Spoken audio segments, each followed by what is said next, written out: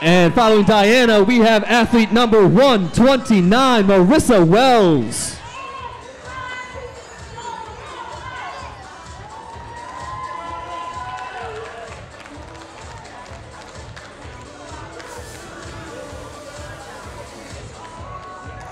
And now, welcome to the stage, athlete 132, April Audette.